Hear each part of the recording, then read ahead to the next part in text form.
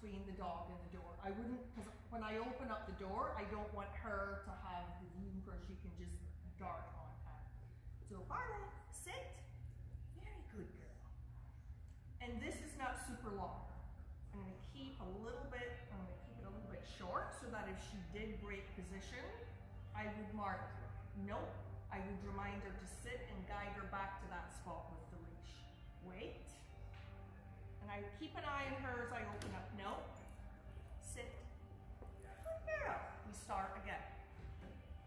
So this is not the cue. We're teaching her this opening. It's not the cue for her to go outside. No. Sit. Good girl. Wait. So the door opens. But again, I want her focused on me. I want her to know. Good girl. So I'm waiting for her to make eye contact.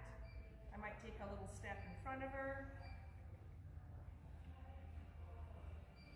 heel and out. Out the door we go. So that's how I would do it at home. Until you've done enough reps that you feel you can do it off leash. Now, if you're releasing her out in your, this heeling is only because we're going out in the store. Yeah. If I was releasing her to go and run and play in the backyard, then I would use my OK. because okay means you're free to kind of do whatever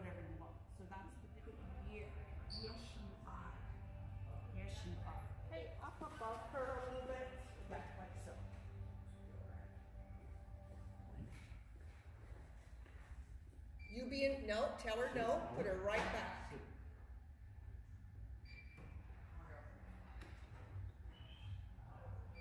And when you tell her heel to go outside, a little bit of a shorter leash. There you go. Nice. Very nice, Mark. And just turn around and come back in.